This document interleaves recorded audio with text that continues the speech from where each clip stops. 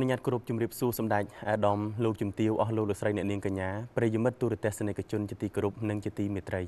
វិលមកជួបគ្នាសាជាថ្មីម្ដងទៀតទៅតាមពេលវេលានិងម៉ោងកំណត់កម្មវិធីខ្មៅនឹងសរបស់យើងជានិច្ចកាលយើងតែងតែទទួលបានកិត្តិយស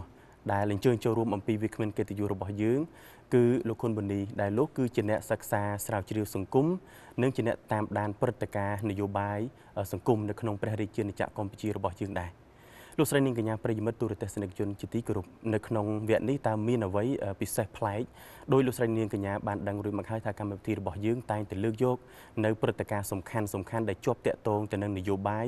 នៅក្នុងព្រះរាជាណាចក្រកម្ពុជារបស់យើងដើម្បីជាធាតចូលនាំទៅរកកិច្ចពិភាក្សារបស់យើងនៅក្នុងវគ្គនេះខ្ញុំសូមអនុញ្ញាតអំពីលោកវិក្មិននិងប្រិយមិត្តទូរទស្សនិកជនទាំងអស់បានរំលេចបន្តិចដែលជាប់តាក់ទងទៅនឹងព្រឹត្តិការណ៍ យើងទៅឆ្ងាយអំពីប្រទេសកម្ពុជារបស់យើងបន្តិចប៉ុន្តែក្នុងន័យជារួមនៅក្នុងព្រះរាជាណាចក្រកម្ពុជារបស់យើងលោកវិក្មិននិងប្រិយមិត្តទូរទស្សនិកជនជាទីគោរពក្នុងរយៈពេលកន្លងទៅនេះព្រឹត្តិការណ៍វាដណ្ដើមកាន់កាប់បានមកវិញនៃដែនដីអាហ្គានីស្ថានអំពីសំណាក់ក្រុមតាលីបង់បានធ្វើឲ្យពិភពលោកភ្ញាក់ផ្អើលពិភពលោកភ្ញាក់ផ្អើលគឺត្រង់ដែលថាអាមេរិកដែលជាអ្នកនៅពីក្រោយ នៃរដ្ឋាភិបាលថ្មីរបស់អាហ្គានីស្ថាន បានដោះដៃ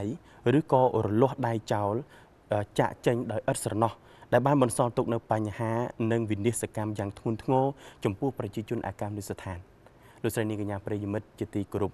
នៅក្នុងប្រធានបទរបស់យើងនៅក្នុងថ្ងៃនេះគឺយើងរំលេចនៅមូលបញ្ហាសំខាន់គឺជាប់តាក់ទងទៅនឹងថាតើពិភពលោកបានរៀនសូត្រអ្វីខ្លះ អំពីអាមេរិកកាំងចំពោះស្ថានភាពនៅកម្ពុជាកំឡុងឆ្នាំ1970និងឆ្នាំ1975និងជាពិសេសថ្មីថ្មីនេះនៅអាហ្គានីស្ថានគូសជំរាបជូនផងដែលថាព្រឹត្តិការណ៍នៅអាហ្គានីស្ថានយើងនឹងជួបជាមួយនឹងវាគ្មិនកិត្តិយសរបស់យើងតើតើមានភាពប្រហាក់ប្រហែលនឹងស្រដៀងឬក៏ដូចគ្នាយ៉ាងណាខ្លះទៅនឹងព្រឹត្តិការណ៍នយោបាយនៅក្នុងព្រះរាជាណាចក្រកម្ពុជារបស់យើងនៅក្នុងឆ្នាំ1970និងឆ្នាំ1975 ដើម្បីជាកិច្ចចាប់ផ្ដើមនៃកិច្ចពិភាក្សានេះខ្ញុំសូមអញ្ជើញប្រិយមិត្តទូរទស្សនិកជនប្រិយមិត្តទាំងអស់បានអញ្ជើញជួបជាមួយនឹងវាគ្មិនកិត្តិយសរបស់យើងដូចតទៅបាទខ្ញុំសូមអនុញ្ញាតគោរពជម្រាបសួរលោកវិក្មិនបាទជម្រាបសួរជាថ្មីម្ដងទៀតខ្ញុំមានកិត្តិយសនិងសេចក្តីសោមនស្សយ៉ាងអនេកបការដែលបានជួបជជែកពិភាក្សាជាមួយនឹងលោកវិក្មិនដែលជាប់តាក់ទងទៅនឹងព្រឹត្តិការណ៍នយោបាយនៅក្នុងព្រះរាជាណាចក្រកម្ពុជារបស់យើងដែលឡែកនៅក្នុងវគ្គនេះគឺយើងមានអ្វីដែលពិសេសបំផុត ពិសេសបំផុតគឺពិភពលោកបាននឹងកំពុងតែភ្ញាក់ផ្អើលមែនទែនចំពោះព្រឹត្តិការណ៍នៅអាហ្គានីស្ថានជាបឋមខ្ញុំសូមអនុញ្ញាតគោរពអញ្ជើញលោកវិក្មិនដើម្បីធ្វើបទអត្ថាធិប្បាយជាសង្ខេបក្តោបទៅលើព្រឹត្តិការណ៍ពិភពលោកនិងព្រឹត្តិការណ៍នៅក្នុងព្រះរាជាណាចក្រកម្ពុជារបស់យើងបាទសូមគោរពអញ្ជើញបាទសូមអរគុណបាទសូមអនុញ្ញាតជម្រាបសួរសម្ដេចអេដាមលោកជំទាវលោកស្រីប្រិមត្តទូទាំងជនទាំងអស់ជាទីគោរពនិងជាទីមេត្រីបាទពាក់ព័ន្ធនឹងប្រធានបទដែលយើងជជែកគ្នាថ្ងៃនេះ វាជាប្រធានបទក្តៅដែលកំពុងកើតមានឡើងនៅក្នុងប្រទេសអាហ្គានីស្ថាន ហើយក៏យើងនឹងធ្វើការប្រៀបធៀបស្វែងយល់អំពីឥទ្ធិពលរបស់វាទៅកាន់ពិភពលោកក៏ដូចជាប្រទេសកម្ពុជាយើងផងដែរសូមជម្រាបជូនថារឿងរ៉ាវនៃការដឹកនាំនៅក្នុងប្រទេសអាហ្គានីស្ថាន កាលពី20ឆ្នាំមុន គឺថាក្រុមតាលីបាននេះគឺជាក្រុមដែលកំពុងដឹកនាំរដ្ឋាភិបាលក្នុងកំឡុងពេលឆ្នាំ2001 ហើយការនោះនៅក្នុងចំនួនមួយដ៏ធំរវាងអឺមេដឹកនាំអាហ្គានីស្ថាន ដែលគេជឿថាខាងសហរដ្ឋអាមេរិកហ្នឹងថាបានជិះយន្តហោះទៅបំបុកនៅ World Trade Center ហ្នឹងគឺជាបុព្វហេតុមួយ ដែលធ្វើឲ្យមានកំហឹងរវាងប្រជាជនអាមេរិកនិងរដ្ឋាភិបាលអាមេរិកដល់ពេលនោះគឺថារដ្ឋាភិបាលអាមេរិកបានយកបញ្ហានេះជារឿងត្រូវចាត់ការចាំបាច់បំផុតសម្រាប់ប្រឆាំងជាមួយនឹង រដ្ឋាភិបាលអាហ្គានីស្ថានហើយកំឡុងពេលនោះហើយគឺសង្គ្រាមបានកើតឡើងនៅក្នុងប្រទេសអាហ្គានីស្ថានជាង20ឆ្នាំកន្លងមកនេះអឺសូមជម្រាបជូនថាការចាប់ផ្ដើមសង្គ្រាមប្រឆាំងនឹងអាហ្គានីស្ថាននេះគឺកើតឡើងក្នុងបុព្វហេតុដែលសហរដ្ឋអាមេរិកបានធ្វើការចោទប្រកាន់អំពីការបើកយន្តហោះទៅបំបុក World Trade Center ហ្នឹងប៉ុន្តែបរិបត្តិជាក់ស្ដែងមែនតែននៃសាច់រឿងរ៉ាវដែលកើតឡើងដែលយើងជឿថាផ្នែកវិទ្យាសាស្ត្រក៏ដោយ ផ្នែកការស្វែងរកផុសតាងមកប្រៀបធៀបក៏ដោយក៏គេពិបាកនឹងជឿថាការជិះយន្តហោះមកបំបុក World Trade Center នឹងអាចជាបុព្វហេតុដ៏គ្រប់គ្រាន់នោះទេ គេជឿថាវាមានបុព្វហេតុផ្សេងដែលសហរដ្ឋអាមេរិកចាប់ផ្ដើមបង្កឲ្យមានជាកំហឹងឡើងបញ្ឆេះជាកំហឹងឡើងដើម្បីជាលេសសម្រាប់ធ្វើការបង្ក្រាបប្រទេសអាហ្គានីស្ថាន ដែលចំណុចមួយ មានការសង្ស័យច្រើនជាងគេគឺពាក់ព័ន្ធទៅនឹងឧស្សាហកម្មស្មានអូស្មានហើយនិងប្រេង ចំណុចនេះគឺជាចំណុចដែលមានការជជែកនៅក្នុងកម្រិតអន្តរជាតិដែរអំពីការចាត់ប្រកាន់គ្នាទៅវិញទៅមកឥឡូវនេះយើងសូមសរុបអំពីព្រឹត្តិការណ៍ដែលប្រទេសអាហ្គានីស្ថាននេះបានទទួលរងនឹងការវាយប្រហារពីសហរដ្ឋអាមេរិកដែលធ្វើឡើងដោយយន្តហោះប្រភេទប្រយុទ្ធទាំងអស់ហើយធ្វើឲ្យរដ្ឋាភិបាលអាហ្គានីស្ថាននេះអាចថានឹងទ្រុឌទ្រោមហើយក្រុមតាលីបង់បានរត់ចូលទៅក្នុងព្រៃ ហើយរដ្ឋាភិបាលថ្មីដែលបន្ទាប់ដោយសហរដ្ឋអាមេរិកហ្នឹងបានកើតឡើងកាលពេលនោះគឺថាប្រទេសដីបច្ចុប្បន្នដែលបានចាក់ចេញថ្មីថ្មីនេះគាត់ជាអ្នកដែលបានកិច្ចខ្លួនរស់នៅអាមេរិក20ឆ្នាំជាងហើយអញ្ចឹងនៅពេលដែលអាមេរិករកសន្តិភាពបាននៅអាហ្គានីស្ថានហ្នឹងបានថាគាត់ធ្វើការបង្ក្រាបរួចរាល់អស់ហើយគាត់អញ្ជើញប្រទេសទំដីហ្នឹងឲ្យមកគ្រប់គ្រងប្រទេសហ្នឹងតែម្ដងហើយក្នុងរយៈពេល20ឆ្នាំនៃការគ្រប់គ្រងរបស់អាមេរិក នៅលើអាហ្គានីស្ថាននេះមានការរៀបចំឲ្យមានការស្ដារឡើងវិញនៅហេដ្ឋារចនាសម្ព័ន្ធផ្នែកពាក់ព័ន្ធដទៃទៀតក៏ដូចជាការបង្កើតនៅរដ្ឋាភិបាលក្បាលម៉ាស៊ីនអីជាដើមប៉ុន្តែវានៅមានបញ្ហាខ្លះដែលអាមេរិកជឿថាខ្លួនឯងហ្នឹងបានធ្វើមកចត់ហើយប៉ុន្តែជាក់ស្ដែងវាអត់បានមកចត់ទេអ្វីដែលយើងអាចគិតថាអត់បានមកចត់គឺថាត្រង់រយៈពេលត្រឹមតែ10ថ្ងៃជាងសោះនៅពេលដែលអាមេរិកបានប្រកាសដកខ្លួនចេញពីប្រទេសអាហ្គានីស្ថាននេះ ក្រុមតាលីបង់ដែលមានគំនុំជាង20ឆ្នាំមុនឆ្នាំគំនុំរបស់គាត់20ឆ្នាំមុនដែលគេបដិញ្ញចេញក្រៅរដ្ឋាភិបាលហ្នឹងចូលទៅព្រៃហើយ20ឆ្នាំក្រោយឆ្នាំ2021នេះបានថាគាត់គ្រប់គ្រងប្រទេសកាលពីឆ្នាំ2001ពីមុននឹងមកដល់2001ដែលជាថ្ងៃចុងក្រោយរបស់គាត់ណាប៉ុន្តែនៅពេលអាមេរិកបង្ក្រាបធ្វើឲ្យមានការចាញ់សង្គ្រាមអាមេរិកអញ្ចឹងពួកគាត់រត់ចូលព្រៃហើយចូលព្រៃហើយហើយគាត់នៅតាមព្រំប្រទល់ ប្រទេសមួយចំនួនដែលនៅជាប់ព្រំដែននៃប្រទេសជិតខាងរបស់គាត់ហ្នឹងហើយគាត់នៅតែបន្តការតស៊ូហើយនៅពេលដែលអាមេរិកដាក់មនុស្សថ្មីមកគ្រប់គ្រងប្រទេសវាមានបញ្ហាច្រើនដែលគេមើលឃើញក្នុងនោះគេចាត់ប្រកាន់តាំងពីរឿងពុករលួយពីរឿងបាក់ពួកពីរឿងអ្វីផ្សេងផ្សេងទៀតដែលជាហេតុមួយឆ្លោះបញ្ចាំងពីភាពមិនប្រក្រតីមួយនៅក្នុងរបបថ្មីដែលក្រោមការគ្រប់គ្រងរបស់អាមេរិកហ្នឹងអញ្ចឹងទៅអឺចំណុចចុងក្រោយដែលយើងមើលឃើញថាមានភាពចម្លែកតង់ថា អាមេរិកបានប្រកាសដកទ័ពភ្លាមភ្លាមលឿនពេកធ្វើឲ្យការត្រៀមរៀបចំជាមុនហ្នឹងมันបានมันបានល្អហើយជាការផ្ដល់ឱកាសឲ្យក្រុមតាលីបានហ្នឹងគាត់អាចត្រឡប់មកកាន់ការគ្រប់គ្រងវិញប៉ុន្តែគេនៅចងចាំអំពីកិច្ចព្រមព្រៀងមួយដែលអាមេរិកមានជាមួយនឹងក្រុមតាលីបានក្នុងឆ្នាំ1998ថាពួកគេនឹងមិនប៉ះពាល់គ្នាទេគេផ្អាកសង្គ្រាមហើយគ្រាន់តែអាមេរិកចេញផុតពួកគាត់ចូលមកដល់វិញក្នុងរយៈពេល10ថ្ងៃ គឺអាចមកគ្រប់គ្រងស្ថានភាពទាំងមូលនៅក្នុងប្រទេសនេះបានបញ្ជាក់អំពីអកិច្ចខិតខំប្រឹងប្រែងមួយរបស់ក្រុមតាលីបានក្នុងការតស៊ូជាង20ឆ្នាំក៏ប៉ុន្តែក៏អាចឆ្លោះបញ្ចាំងពីភាពមិនយកចិត្តទុកដាក់នៅលើគោលនយោបាយអាមេរិកនៅក្នុងផ្នែកនេះដែរព្រោះថាមុនពេលគាត់ចាក់ចេញទៅគាត់ប្រកាសជាធ្វើការវិតម្លៃពីស្ថានភាពទូទៅឃើញយ៉ាងម៉េចយ៉ាងម៉េចហើយមុនពេលគាត់ចេញប៉ុន្តែតើរឿងរ៉ាវដែលតាលីបានត្រឡប់មកគ្រប់គ្រងវិញ ជាឱកាសដែលអាមេរិកហុចឲ្យឬក៏ជាឱកាសចៃដន្យចំណុចនេះយើងនឹងពិភាក្សាគ្នានៅក្នុងសំណួរបន្តតទៀត បាទបាទខ្ញុំសូមអរគុណណាស់ចំពោះលោកវិក្មិនដែលបានរំលេចឡើងអំពីព្រឹត្តិការណ៍នៅតាលីបនជាប់តាក់ទងទៅនឹងសារបាននៃការការដំណាចនិងការធ្លាក់ចុះទៅវិញរបស់ក្រុមតាលីបានស្របតាមអ្វីដែលលោកវិក្មិនបានលើកឡើងថាមែនទែនទៅតាលីបានគាត់ធ្លាប់បានគ្រប់គ្រងនៅក្នុងប្រទេសអាហ្គានីស្ថានហើយប៉ុន្តែដោយពុបហេតុដ៏សំខាន់ជាប់តាក់ទងទៅនឹងការបើកយន្តហោះបំបុកនៅមន្ទីរបញ្ចកោននិង World Trade Center បាទបាទជាប់តាក់ទងទៅនឹងបញ្ហានេះគឺជាពុបហេតុដ៏សំខាន់ឬក៏ថាអាចថាជាលេសមួយ របស់អាមេរិកដែលចូលទៅក្តោបក្តាប់ចូលទៅគ្រប់គ្រងទៅលើអាហ្គានីស្ថាននិងមែនទែនទៅជាលេសមួយដើម្បីបញ្ចប់នៅរបបផ្ដាច់ការទៅតាមអ្វីដែលអាមេរិកចង់បានដោយអ្វីដែលលោក Bigman បានលើកឡើងខ្ញុំចង់រំលេចនៅសំណួរបន្ថែមទៀតជាប់តកតងទៅនឹងព្រឹត្តិការណ៍អាហ្គានីស្ថាននេះថាតើ វាមានភាពខុសប្លែកគ្នានិងដូចគ្នាយ៉ាងម៉េចបើយើងប្រៀបធៀបទៅនឹងប្រទេសកម្ពុជាដែលយើងត្រឡប់ទៅអតីតកាលវិញនៅក្នុងឆ្នាំ1970និងឆ្នាំ1975ដែលយើងគួរដឹងផងដែរថានៅក្នុងរដ្ឋការនោះគឺយើងស្ថិតនៅក្រោមការឧបត្ថម្ភឬក៏ដូចជាការយកចិត្តទុកដាក់របស់សហរដ្ឋអាមេរិកផងដែរបាទបាទបាទសូមអរគុណចំពោះសំណួរនេះយើងនឹងអាចធ្វើការប្រៀបធៀបអំពីស្ថានភាពនៅកម្ពុជាក្នុងកំឡុងឆ្នាំ70 75 ដែលការនោះគឺលោកសេនាប្រមុខលន់នល់គាត់ដឹកនាំប្រទេសហើយដែលមានការជ្រោមជ្រែងពីសហរដ្ឋអាមេរិកដូចគ្នាអឺបរិបទនេះមិនខុសពីអឺប្រធានាធិបតីដែលបានគេចខ្លួន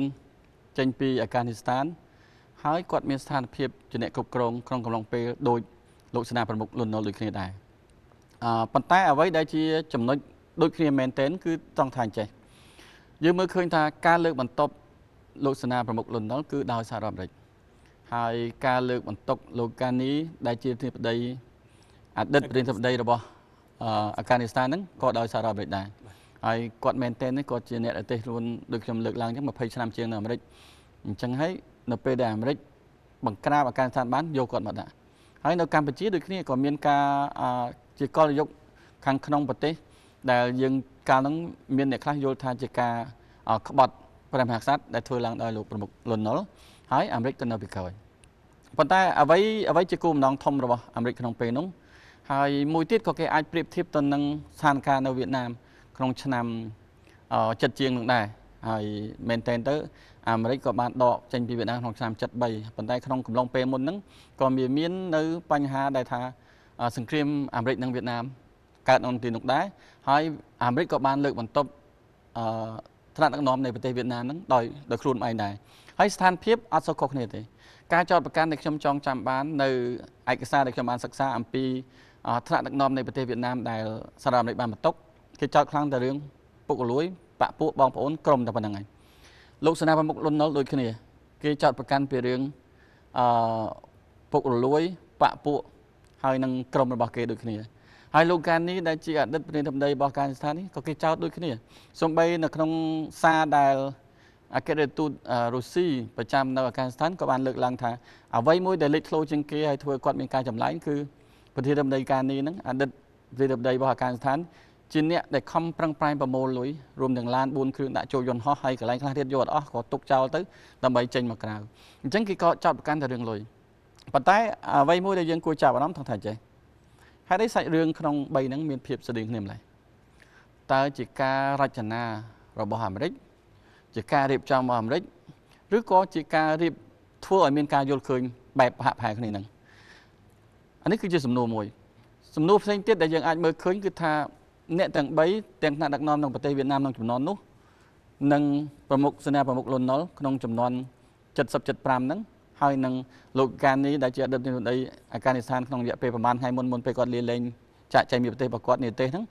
ក៏យើងឃើញថាមានសាច់រឿងដូចគ្នាដែរ គឺមានពេលតិចតួចបំផុតសម្រាប់ការកិច្ចវេះខ្លួនហើយมันអាចទាំងការពារប្រទេសរបស់ខ្លួននៅក្នុងសង្គ្រាមមួយដែលមានភាពរឹងមាំនេះព្រោះគេថាអាហ្គានីស្ថានតាមពិតទៅមានតបច្រើនជាងតាលីបានប៉ុន្តែហេតុអីទប់អត់ជាប់ហើយក្រុមតាលីបានគ្រាន់តែជាក្រុមដែលយើងហៅថាដូចដូចជំនាន់ខ្មែរក្រហមអញ្ចឹងគេហៅថាក្រុមឆ្លប់ព្រៃទេគាត់មានកភ្លើងធុនទូចយ៉ាងច្រើនមានត្រឹមបេមានអីมันមានជាលក្ខណៈរត់ក្រោះឬក៏ អឺយើងហៅថា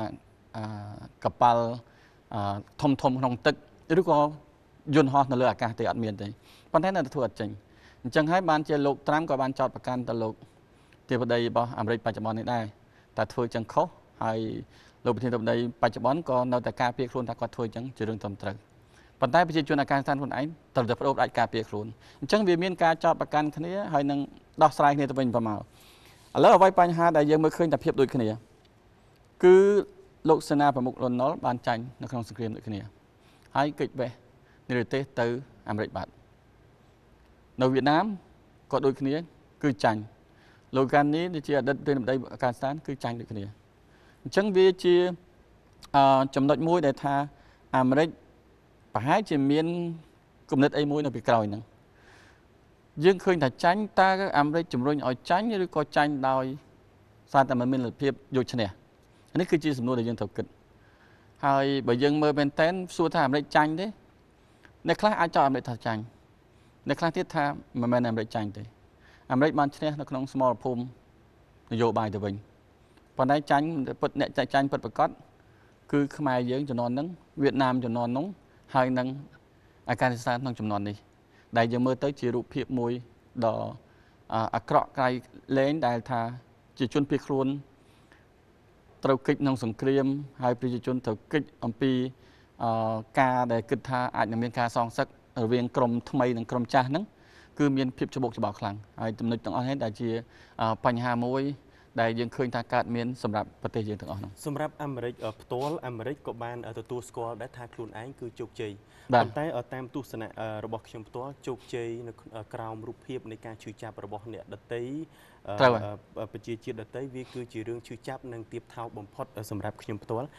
ខ្ញុំចង់សាកសួរដល់លោកវិក្មិនបន្ថែមទៀតជាប់តកតងទៅនឹងព្រឹត្តិការណ៍នឹងដដែលមុននេះខ្ញុំបានស្ដាប់នៅអ្វីដែលលោកវិក្មិនបានលើកឡើង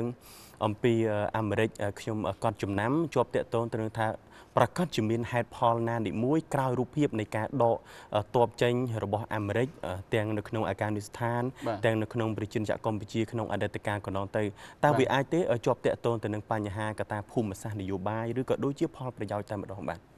បាទជាការពិតយើងមើលនៅក្នុង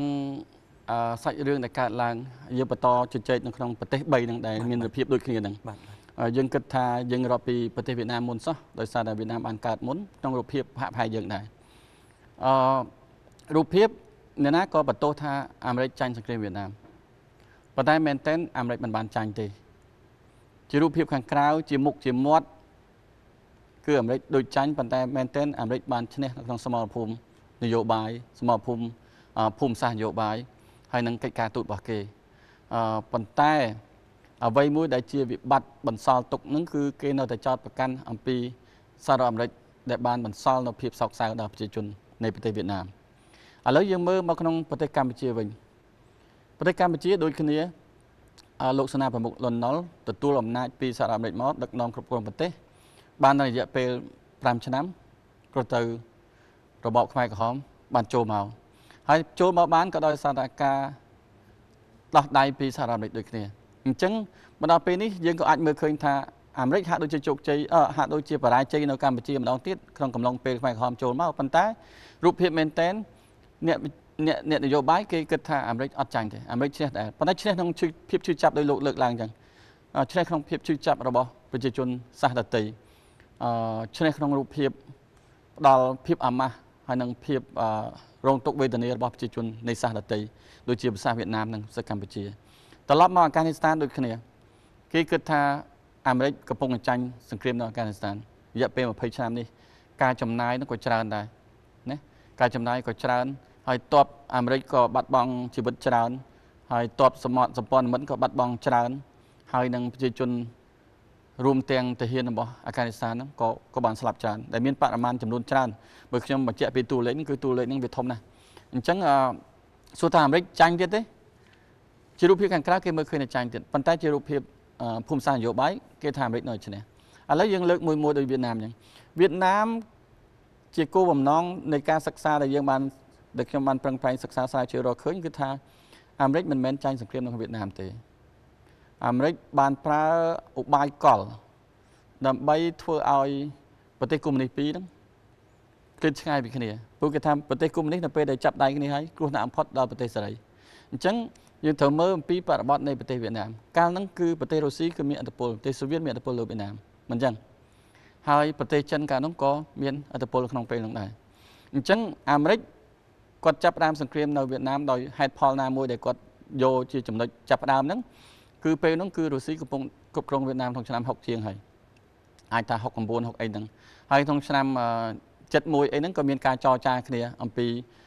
រឿងរ៉ាវនៃទំនាស់នៃប្រទេសទាំងពីរអញ្ចឹងអាមេរិកព្យាយាមបំបែករុស្ស៊ីអំពីចិននៅក្នុងពេលហ្នឹងហើយព្យាយាមញាស់ឲ្យរុស្ស៊ីនិងចិនហ្នឹងជ្រុះគ្នាទៀតបាននៅក្នុងក្នុងឆ្នាំ1969ហ្នឹងរុស្ស៊ីក៏ធ្លាប់វាយ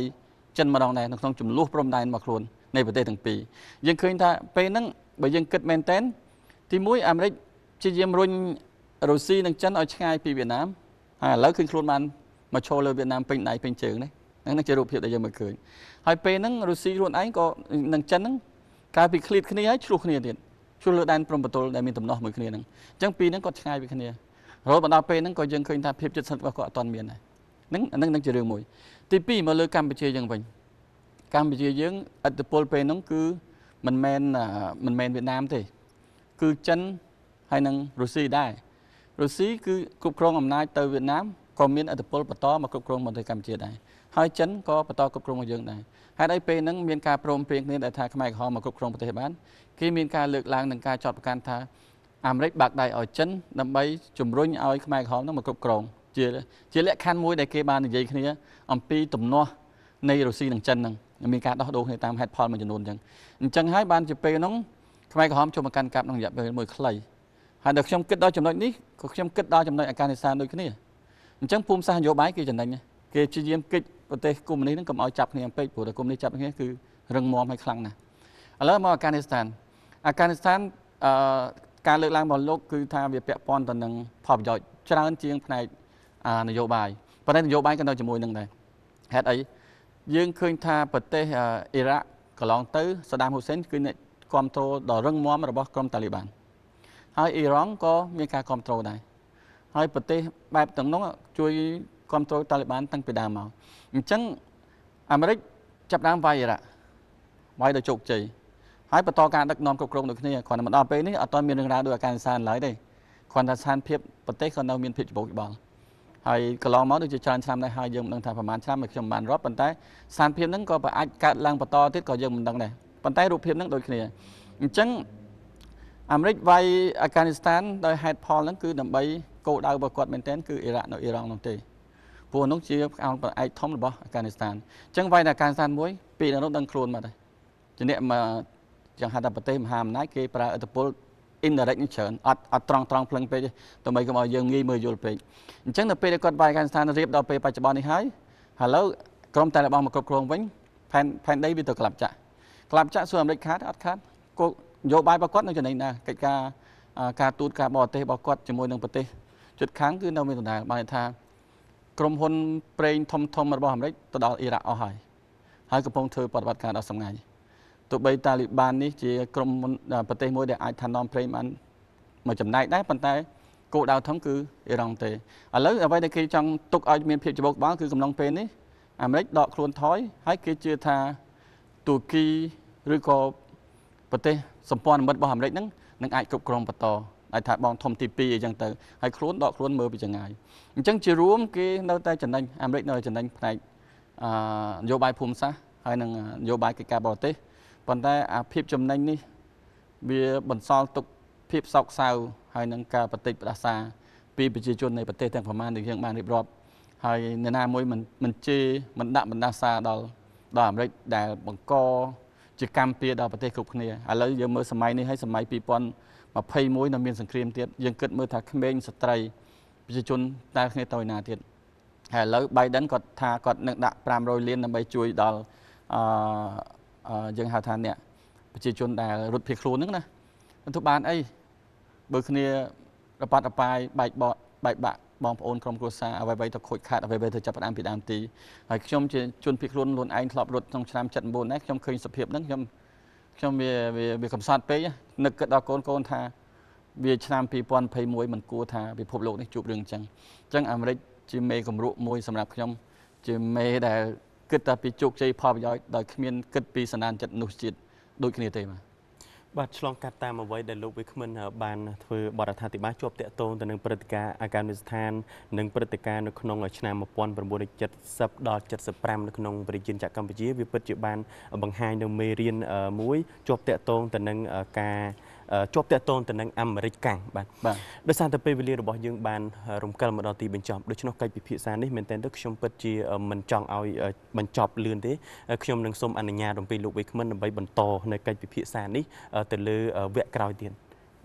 បាទបាទលោកស្រីនាងកញ្ញាប្រិយមិត្តទូរទស្សនិកជនជាទីគោរពដល់ពេលវេលារបស់យើងបានរំកិលមកដល់ទីបញ្ចប់ហើយដូច្នេះខ្ញុំសូមសម្រាប់កន្តៃអបិទោប្រសិនបើកិច្ចពិភាក្សារបស់ខ្ញុំជាអ្នកសម្របសម្រួលនិងលោកវិក្មិនមានចន្លោះខ្វះខាតដោយអចេតនាណានីមួយហើយគួរជម្រាបជូននិងបញ្ជាក់ផងថាកម្មវិធីខ្មៅនឹងសមិនបានឆ្លុះបញ្ចាំងអំពីទស្សនៈរបស់ថ្នាក់ដឹកនាំនៃគណៈបកប្រជាជនកម្ពុជានោះឡើយទាំងអស់នេះគឺជាការវិភាគទាននៅទស្សនៈទានគំនិតដើម្បីត្រិះរិះពិចារណាប្រកបទៅដោយបញ្ញាគណៈនេះខ្ញុំបាទហុតពធាជាអ្នកសម្របសម្រួលនិងលោកវិក្មិនគុណបនីសូមអរគុណសូមគោរពលា